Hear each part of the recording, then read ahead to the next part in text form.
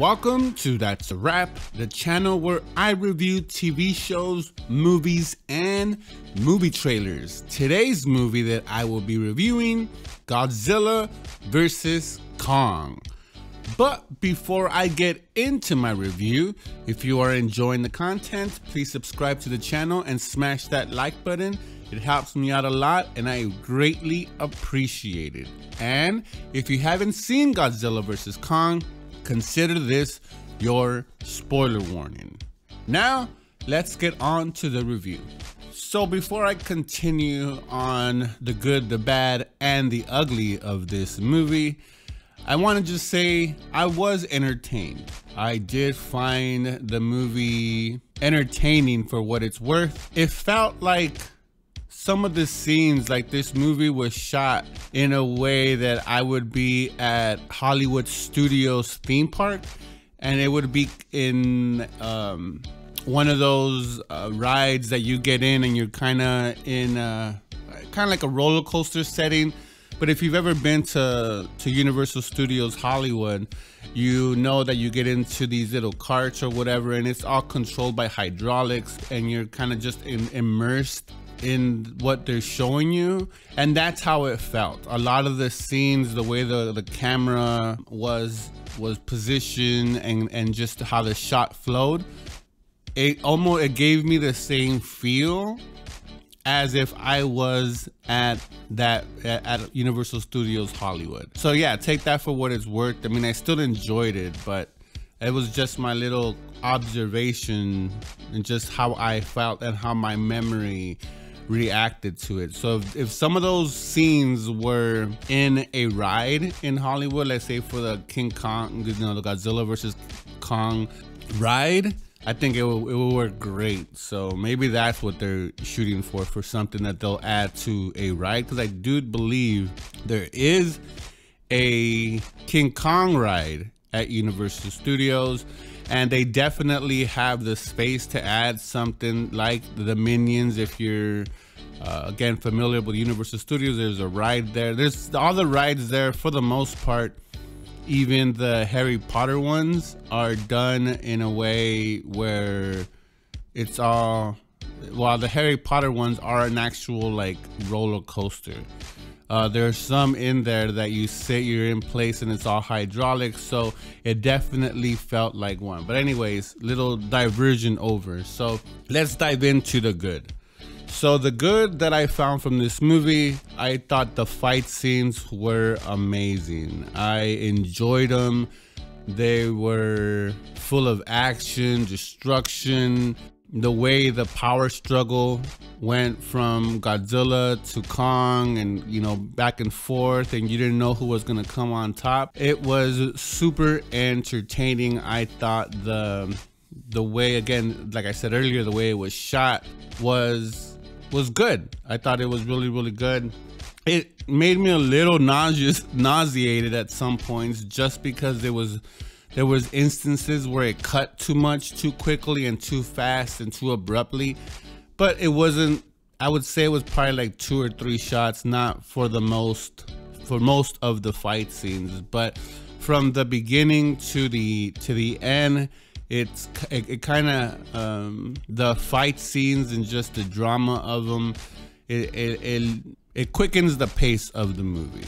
If if if that would be a correct assessment to it. So it makes the I and I completely enjoyed the fight scenes. Another thing that was good about this movie was some of the CGI. You know, just like with the the fight scenes, just the way with how we found out that the um, where Kong is being held at in the beginning is like a simulation. It's just a dome where they are replicating an environment good to to Kong to to ha have him happy, to have him contained, even though he, Kong is smarter than we think and that anybody believes, and he understands he's in an uh, in a encasement um, but I found all most of the CGI good for this movie. So let's get into the bad.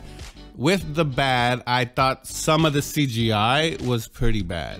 When it, it I don't know, maybe they ran, ran ran out of money towards the end. You know, maybe they had a different studio do some of the CGI, but when Kong is being transported through the water and you see some of the water hitting his hand and, and, and kind of misting, you could see how horrible that CGI was.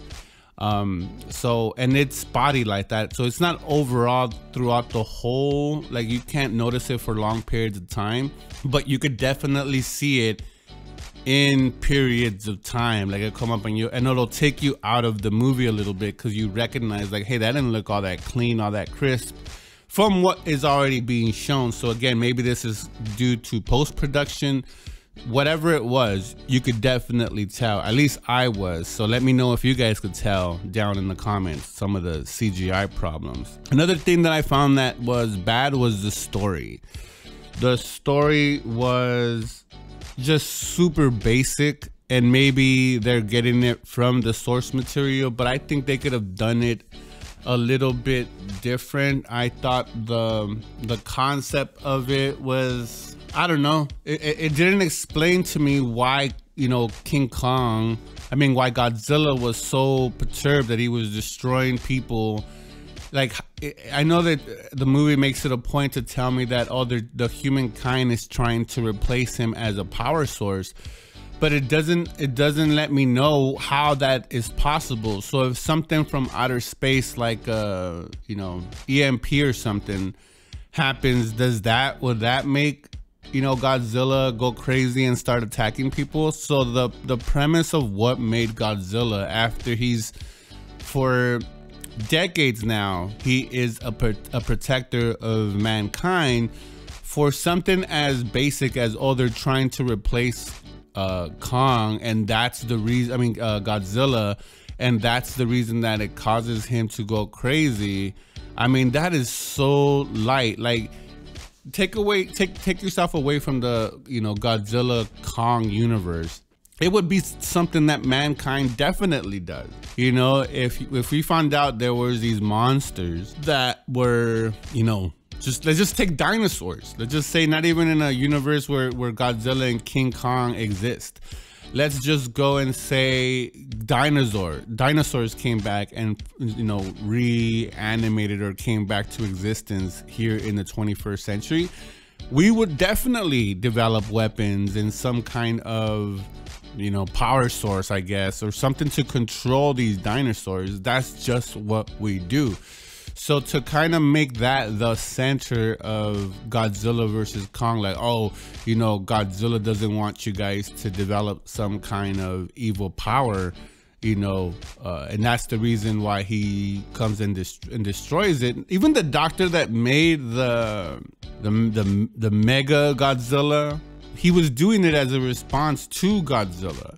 That way, they don't have a reliance on Godzilla and they could kind of protect their own selves. So the, the whole story was really, like I said, it was so whimsy and so fragile that, it, you know, I just took myself out of the story. I didn't follow the story anymore because I just, it was too basic. It was just too ridiculous, too, like you were making something out of nothing. So another thing that I found was the destruction if if there was if a city got leveled, I think it was Hong Kong, but that city was destroyed completely, utterly, and how anyone could be like cheering after that.